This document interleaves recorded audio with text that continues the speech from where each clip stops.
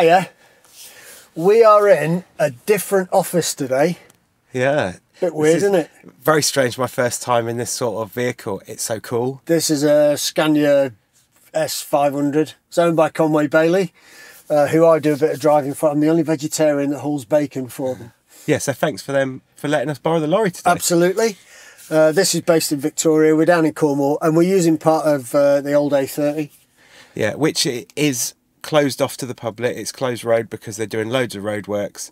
So anything that we do in this video is on a closed road. Absolutely. Um, so the reason we're sat in the truck today is because obviously I do a little bit of this driving stuff, and we wanted to highlight how dangerous trucks are and how little appreciation car drivers, motorcyclists, pedestrians, all that cyclists have about a truck. Now we've got two policemen with us who've actually never sat in trucks before. And we've just demonstrated to them what you can and cannot see, and they both walked away going, "Oh my god!" You know, they've dealt with fatalities, and you know, unless you've actually done this, it's hard to understand. So, we're sat in a cab. So first things first. Oh, first things first. What is the size of the lorry? So this is like an average lorry, articulated truck, whatever you call it, Okay. um, that somebody would see on the road. This is an articulated truck, so it has a cab, you know, a cab at the front and a trailer behind. Trailer's about forty foot, so the whole thing is probably I don't know, 40, 48 feet long, Okay. something like that, fifty foot long. It's hard because trailers are different sizes and all this, but it's a three axle trailer, so it's a big long trailer. What we wanted to demonstrate, I'm just going to open the windows a little bit because we're going to get Hot and steamy. Um, what we wanted to demonstrate is just how little view you have in the truck. Now, you'll see there are six mirrors. So we got one up there looking down down the passenger door, isn't it? Yep. And then you've got the two wing mirrors on the left, and you've got one that is slightly angled so you see the floor a little bit more, and then this one. Yep. And then what have you got on that side? At the front Oh, of the uh, at the front of the uh, truck there, we've got that mirror that looks down at the very front of your cab. yep. Yeah. And then what have you got over that Over side? here, we've got another upper mirror and a lower mirror, and that's the view out the cab. Okay, so you can see that I've just adjusted my seat now. I'll hand that back to you. Okay. I've just adjusted my seat to how a lot of drivers drive it. Yeah. Uh, drive. Okay, so my review out of the front is very restricted. We've got uh, halves one of the policemen who's with us He's what six foot two, six foot Yeah, quite a tall guy. yeah, and he was stood nearly six feet away from the front of the truck. Can't see him. Well, do you want me to jump out and show? You can do, yeah. Yeah. So I'll jump out. This mountaineering and stuff all in the aid, all in the aid of RiderCam.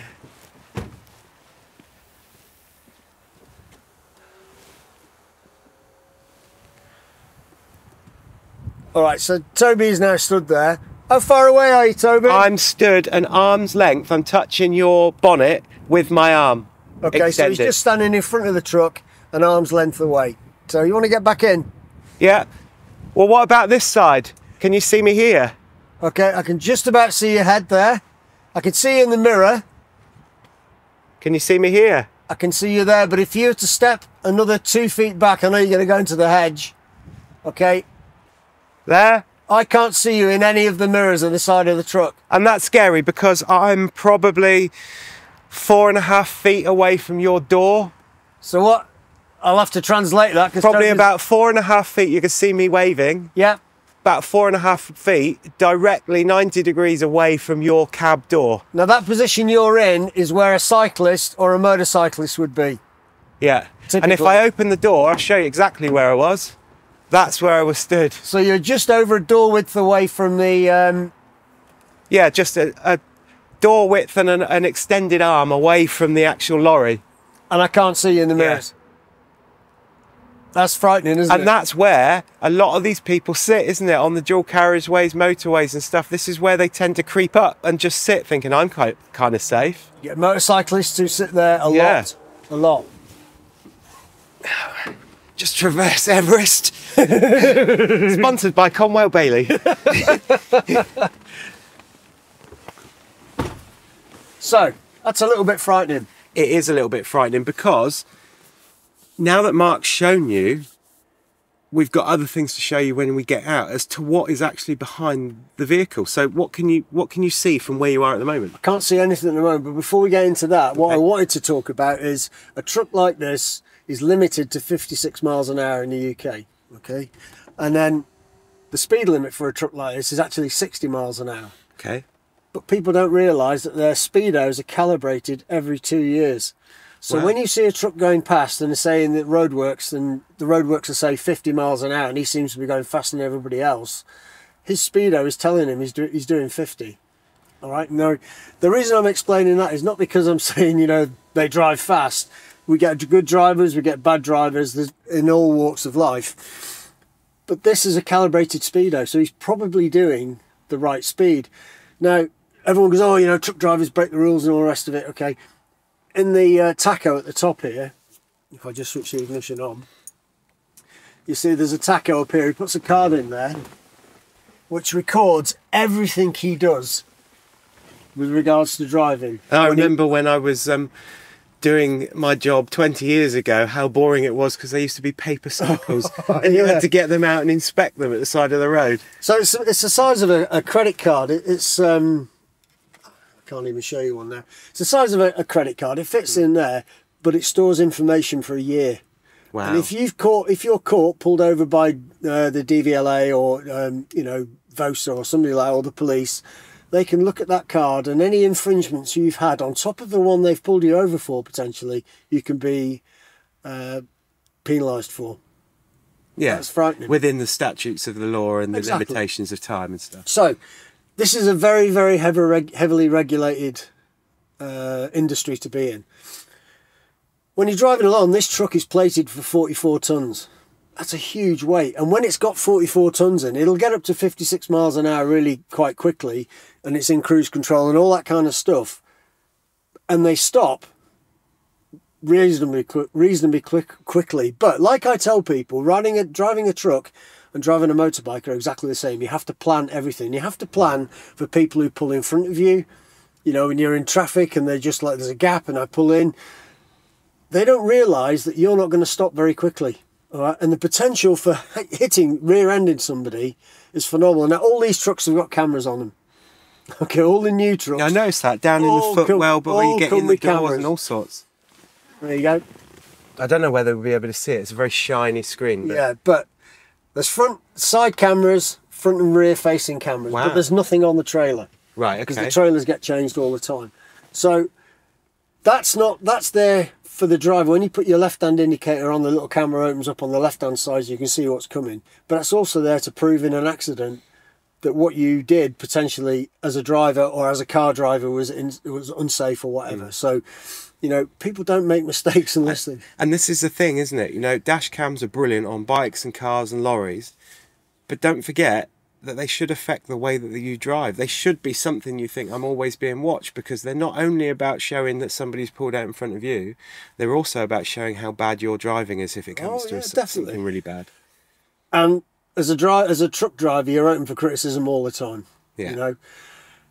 But that's just the way it is. So, what the point I want to get across to people is, if you pull in front of a truck and uh, rightly, rightly they get annoyed, you know, they might flash the lights or you, sound the horn, all right.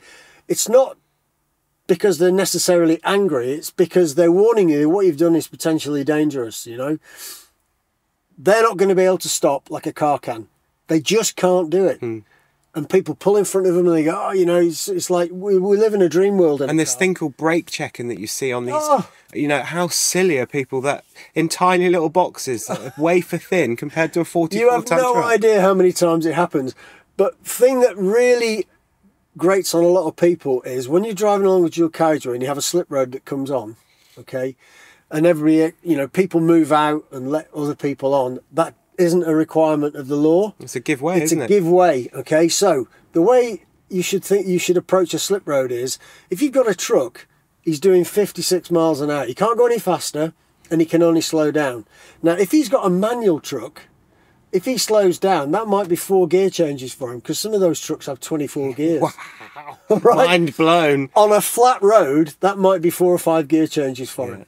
Okay, so in a car or a motorbike, rather than just cruising along at 50 miles an hour and expecting him to pull out, which he can't because there's traffic going a lot faster behind him, you've got an option in a car or a bike. You can either go faster than him or you can slow down and slip in behind him. Okay, so just consider that when you're Yeah. when you're driving. But let's get on to what we can see. If you want to pass me, the, oh, if you turn first of all and look out of your mirror. Okay, From your you- perspective, from from my perspective as a driver, yeah. what can you see? Out, what can I see out of there Well, uh, behind us? as far as I can see, even sat in the passenger side, which you'd think would be a better ad- advantage point for the mirrors, I was really surprised that I can just about see the end of your trailer. the front of the trailer with that white line is really pronounced there, but the end of the trailer, it could be in oblivion, especially this weather. It's grey clouds, it mixes in with the colour of the um, the trailer. But as far as I can see, there is absolutely nothing behind you. Rightly so too. So we're looking now on the driver's mirrors, okay, and you can see there we're on a perfectly straight road, and we can't see anything behind us. We can just see the edge of the trailer in the bottom mirror there, but you can't see the back of the trailer. No. Should we get out? I think we ought to because I think you might be quite surprised with what you might be able to find. Okay. what is hidden behind Mark's trailer? Who knows? Right, see, are you going to get out as well I can talk do. about it? I can do. So, this is the big reveal. Not only has Mark climbed out of his massive truck, ooh, uh, Who are? now if we go right alongside your lorry and turn, there's still nothing there, is there, Mark? No. If we go on the other side, you'll see as well. So if we go round to the passenger side, there's still nothing there, is there? Absolutely nothing. So let's go round the driver's side and go out into the middle of the road a little bit. Oh, not only are you being hailed to stop by this lovely police car, by the way, Vision Zero are here and we're working with them. Um, and then we've got a police support vehicle van behind that. And then we've got Barney, the RTP behind that. How far is that away? The, the critical thing about that is from the mirrors on the truck to the mirror of the actual the police car Yeah, is 56 meters. 56 metres. Now you think how far how close people drive to drive to trucks, the backs of trucks. Yeah. Motorcyclists sit on the outside edge trying to overtake them. Okay, how dangerous is that? We talk about the two second mm. rule. Only a fool would break the two second rule. Okay, that's inside two seconds, Yeah, isn't it it? is. for most speeds. Yeah, it is. Right. And if you think where my bike is, where Barney's back there, I don't want to zoom in and zoom out because it might take the um, definition away from the video. But Barney's right at the back there. Now, if I was on Barney and there was an overtake here and I could overtake all of you because you're going really slow, I'd be out right out here on this line here, out Yep. here. But that would give me a view out. But now I'm potentially being lost from these massive mirrors, aren't I? Now, so the police car is 56 meters away from me. Yeah. Okay, the van is another 30 meters beyond that. Yeah. So we're talking 86, 86 meters, give or take, and you're another 30 meters beyond that. Yeah. So we're talking 120 meters, something, Yeah. something in the region. And I that. can only just, when I park the bike up, because we very carefully manoeuvred our vehicles into position, I can only just see the edges of your mirrors or your mirrors. at 120 meters, Yeah. and you're on the edge. You're not Yeah. in the centre line of the truck. No. So as a truck driver, you spend your whole life looking at shadows because that's all you can see behind you. And Yeah. it's not surprising that when a car suddenly appears out of nowhere, you know, it's just like it's quite a frightening thing. So that's something to be aware of. It's really scary, isn't it? It really is. It is. So we're like in a, t- in a typical overtaking situation here on a, a normal country road. Yeah. Hence the normal country road that again is closed, just in case anybody says we're being dangerous. It's a But you'll road. notice we've got the arrows coming in Yeah. and you've got a, uh, a solid white line this side, broken white line on the other side. Yeah. This is typically where cars try to overtake you. Yeah. I've got to get past the truck. Yeah. Okay, now we've got the police car parked. And if I show you the mirrors, in my top mirror, I've got all of him. In the rear mirror, I've just got his back door. And if I look out of the car, you'll see that he's right alongside my door. Just bring the camera down a little bit so that it can see the that's it bottom of the door, so we get some sort of reference in our heads as to where that Okay, is. so there he is in the top mirror. See the whole of him. In the bottom mirror, I've just got his back his his back door and half his windscreen. And then if I look here, his bonnet is right alongside. And if I open the door, you'll see the whole car. Yeah. If you lean out, now that we've moved the vehicle, moved this vehicle, can you see the van any more clear? Uh, okay, so if I'm looking in the in the mirror, we've actually put the the the truck in a proper aspect on the road, so it's not sat in the centre of the road, and I can just, I mean, it's difficult to see on this camera. I can just see the right hand side of the um, the driver's side of the van. Wow. Can you see the bike? Can't see the bike at all. And that's how we just disappear into the background. And that's a white bike. You know, a white bike on a road, nothing to stand out, but nothing not to stand out. I am I'm not obviously not sat on there, but you can't see it. Can't see it at all. It's That's a bit scary, that isn't it? What we're going to try and do here is re- replicate driving along a country lane. If you shows the front of the road there, Dave. So what we got here typically is I'm doing 50 miles an hour in a truck. Uh, I've got something that's over going to overtake me. It'll be Toby on his bike. I can't see that, but we are about 13 meters away from a solid white line on my side of the road and a broken line on the other side of the road. That means in the UK that on the white line on this side of the road is stopping me from overtaking, so I can't overtake, but anything on the other side can overtake. Okay, now we're about 30 metres away from that. Imagine I'm doing 50, because that's the limit for this vehicle on this road. A car or a motorbike can be doing 60 miles an hour, because that's the national speed limit. What typically happens is they do late overtakes here. They've seen the arrows that say you can get in, but they're desperate to get past the truck.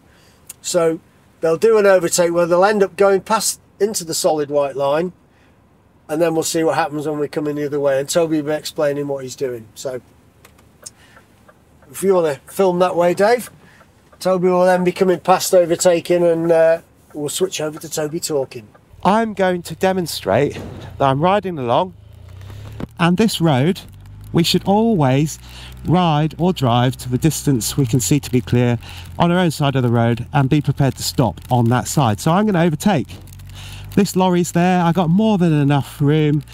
I've kind of got fixated on the lorry and I've missed the keep keep in bollards and I'm now up at 50, 60. I'm now breaking the law because I'm crossing the road and look at that. Look what's in that in that gap. Now that is a standard transit van, Ford transit van. And see how that was lost. Now we get on the road sometimes very fixated about overtaking vehicles. Now I was trying to demonstrate being fixated overtaking that 44 tonner and that vehicle, mimicking the fact that they're moving. So you'll have to pretend that they're moving. As they're moving, I'm intent on getting past that vehicle. I've kind of missed the fact that even though I can see to the top of the road, I've missed the fact that there's a dip. And there isn't always a dip sign telling you that there is a dip. And how can I lose sight of a transit van? If I pull that down, how can I lose sight of a transit van in there when I'm looking back and I've just come past that lorry? Now you can see that these lines here, these lines, if I was travelling this way, this means I shouldn't overtake. It's a solid white line. This side is broken. So from the top of the hill, from here, the reason that you can overtake is because now I've got the view all the way up the top of the hill. I can now overtake if it's safe to do so. But because I got fixated behind that lorry, I was completely in my rights to overtake there. But the reason the white line starts at the top of the hill is because there is a dip that isn't signposted. And that dip would have led me at 60 miles an hour, because this is a 60 mile an hour road, right into the path of that van, doing 60 miles an hour. And bear in mind, I'm on the wrong side of that solid white line. So not only am I breaking the road traffic law, putting myself up for fines and stuff, I'm actually being really dangerous. So I'm heading now for that 60 mile an hour van that's travelling at 60 miles an hour, hence 120 mile an hour impact. And me and Barney are going to be toast. And what we wanted to do was highlight the fact that these lines are there for a reason. Don't get fixated behind a vehicle to overtake because you need to be able to see every bit of tarmac. If you can't see every bit of tarmac, including that dip that goes up, then the overtake is 100% off. Right, so what we're replicating now is we're driving along a country lane, 50 miles an hour, normal road. Ahead of us uh, about 250 meters away, we've got a solid white line, broken white line. And if you can see the mirrors, we're just going to explain how typically what happens when you've got a motorcyclist uh, overtaking you before he gets to the white line. Okay, and how difficult it is to see them. So, we're just starting off now. Toby's behind us. He's about 50 metres behind us, but I can't see him. So I still can't see him. We're now getting to probably 80 metres before the end of the, the start of the white line. I can just see him now on the outside. He's coming past. I can still see him. I can still see him in all my mirrors, but I can't see him now, just as he appears at my door. So hopefully this has shown you where the blind spots are from a unique position of a driver of a heavy goods vehicle. Remember they're 44 tonnes, they can't stop very quickly. Um, but as a motorcyclist, a driver of a car, a van or indeed another lorry, it's really important to know where those blind spots are so you don't keep putting yourself in those blind spots. So if you've liked the video, give it a thumbs up, subscribe, all that jazz and we'll see you in the next video.